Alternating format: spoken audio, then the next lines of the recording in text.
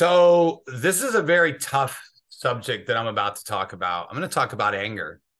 And I want to talk about anger because it will destroy you. And I'm going to talk and give you guys a teaching that I did at at least three conferences uh, that I spoke at. And um, it's a pretty deep conversation because anger, I mean, I still struggle with it. I'm going to be completely honest. I love to talk about this because it makes me a better person every single day. I don't want to be angry anymore. I don't want to be angry at people, right? Uh, you're human. You have to do a self examination of whether or not you can, you know, co- see yourself healing and being free from these things. But the spirit of anger, God is just not in the midst of that. Okay. And so as we talk about anger today, I'm actually going to share a little joke at the beginning today. Um, I love this is kind of anger management 101 jokes. I, I love my one of my spirit my spiritual mentors and spiritual father, Dr. Randall Langley, says that it's always good to make people laugh because laughter is good medicine. So it's the wife goes to the counselor and complaining about her husband's anger, and she explains that he seems to just flip out on her and lose his temper. The counselor makes a suggestion. Okay, here's what I want you to do. Anytime you feel like your husband is about to flip out, I want you to go to the kitchen, pour a glass of water, and then take a swig and swirl it around in your mouth until he calms down. The woman, the woman was puzzled, but in agreement. Okay, I'll give it a try. Two weeks pass by, and she goes back to the counselor and says to the counselor, "That suggestion of yours worked like a charm. Anytime my husband got angry, I just swirled the water around in my mouth, like you said, and he calmed down. How in the world does a glass of water do that? And the counselor replied, The water itself didn't do anything. I think you'll find that it's keeping your mouth shut that does the trick. so I know a lot of you are not going to like you women are not going to like that, but it could have been a man, vice versa, whatever, right? So when I said that we were going to talk about anger, many of you that are going to listen to this, you immediately said, Yeah, that's me. I'm a person that deals with anger, or someone came to your mind a spouse, a father. Mine came to my father. I got mine, mine, my anger was an absolute generational curse. Okay. My, as I said it, my father came to mind immediately. Maybe you, you know, maybe you said, I don't have anger. I don't struggle with that. Okay. A lot of times when you say that, you do struggle with that. Or maybe you just self identified. You're like, you know, on the car ride here, or, you know, yesterday morning, or even this morning, or, or yesterday, I got mad at my kid and I was yelling and screaming. It does absolutely no good. Right. Um, I was yelling at my wife and kids. Some of you, you get it.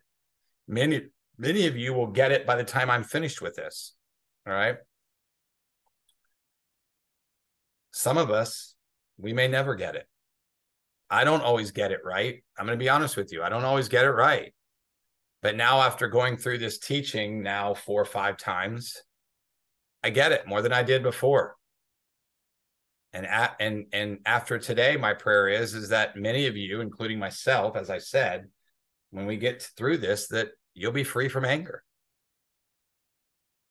Some of us, as I said, you know, we may say, yeah, I have anger, but it's only because of my job or it's only because of how my wife talks to me. It's not my fault. So if my spouse would wash the dishes after I cook, I would not have anger issues. If my clients would listen to me the first time, I would deal with anger or even rejection. And and and and when this teaching was going on, um, one of the pastors, you know, spoke on rejection and how rejection leads to anger, right? Um, if my wife didn't remind me to close the cabinet doors, I wouldn't get angry. Um, and as I'm doing these recordings, she's in the other room, so she's probably laughing, right? So here's the truth. Can we all just be honest enough today to say that maybe those things are symptoms of something that's going on deeper inside of us? Wow. Okay. Maybe that's the fruit of the root inside of what needs to be brought to the surface. Maybe there's something deep inside of you, you know? What I love about Ephesians 4 is Paul, listen to this. Paul brings, uh, uh, uh, Paul begins to talk to us about our anger. And he talks to us about the very root of anger. Okay. And here's what he says In anger, do not sin.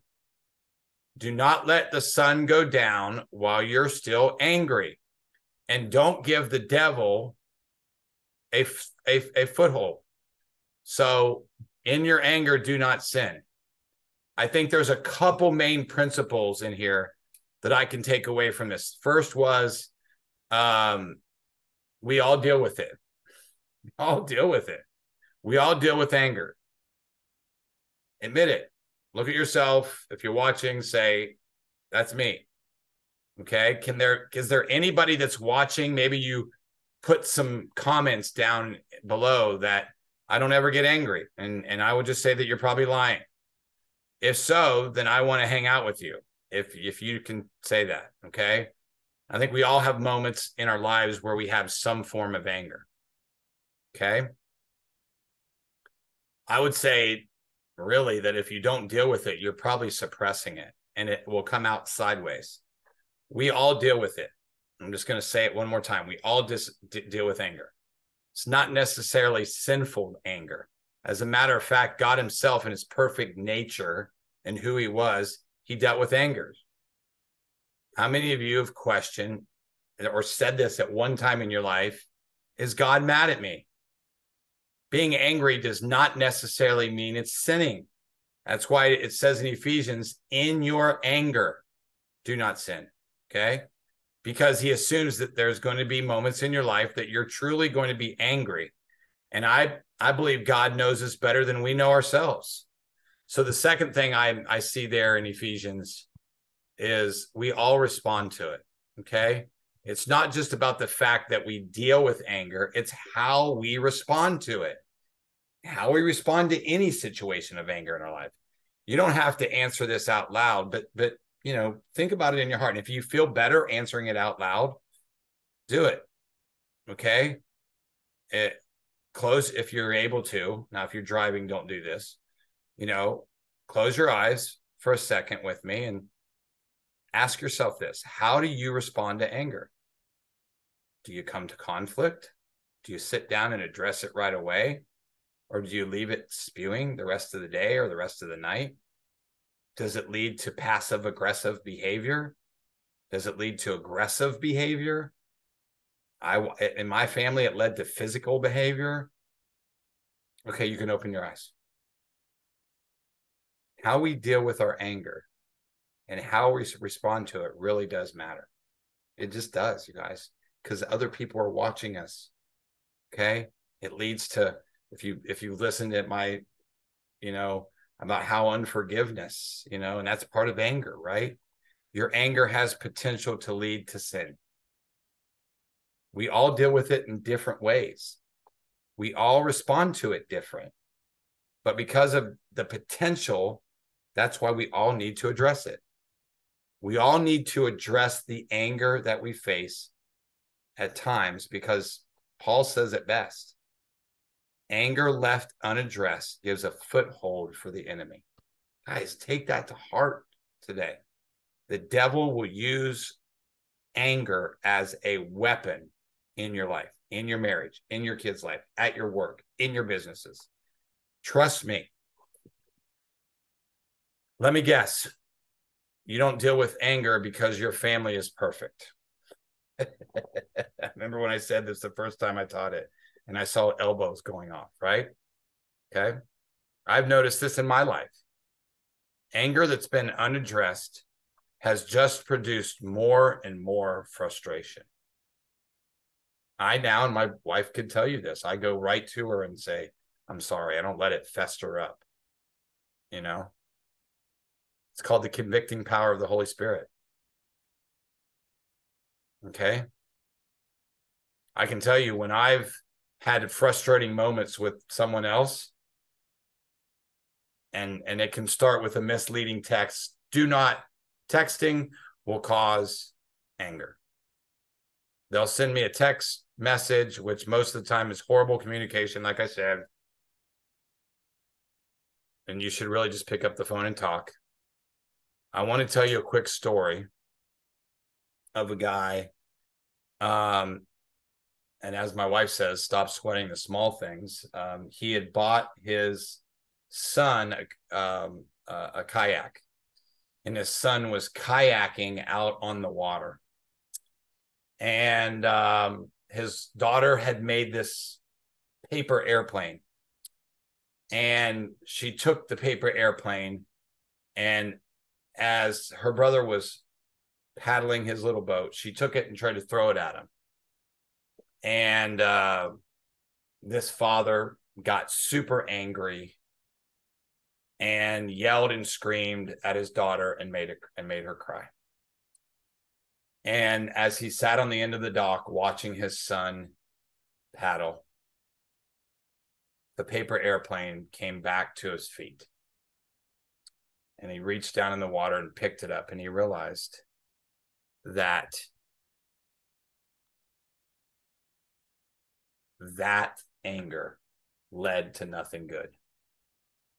Nothing except making his daughter cry. And he went to his daughter and asked for forgiveness. How often do you get mad over the small things? And sometimes they're not small things. Okay. Here are some things that you can do. Start doing a self audit how something unaddressed in your life turns into something bigger. I'm telling you, this will change your life. As soon as there's hurt, hearts, and feelings, you have attitudes towards each other. I've seen it in my own life, and so have you. Unaddressed anger leads in to bigger things.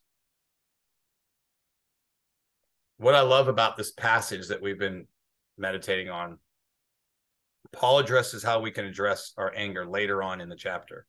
It's found in Ephesians 4 31 and 32. He says, Get rid of all bitterness and rage and anger, along with every form of malice. Maybe you're asking yourself, Mike, what do I replace it with? He says, instead of, instead, be kind and compassionate to one another. Forgive each of us as God's forgiven you. Okay? It's hard. That person may go out of your life. You may not understand it. You may have not done anything wrong. You forgive and you move on. It's as though Paul in this this this these chap these verses is saying when you understand how God loves you, it can t- transform anger towards others differently. God's love for us should train should transcend and transform how we view anger. If you understand it, you understand love, it will transform your anger towards others. How has God how has God responded to us? It says slow to anger, quick to forgive, full of compassion. That should cause us to respond to anger differently as well. God gave us an example of how we should respond.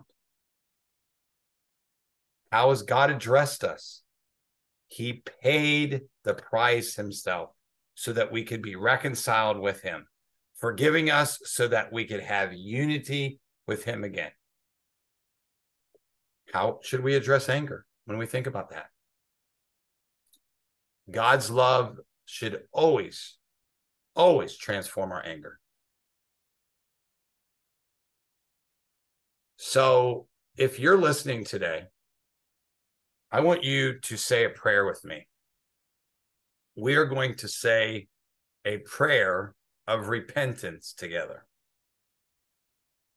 If you can read this with me, um, I will go slow so that you can repeat it.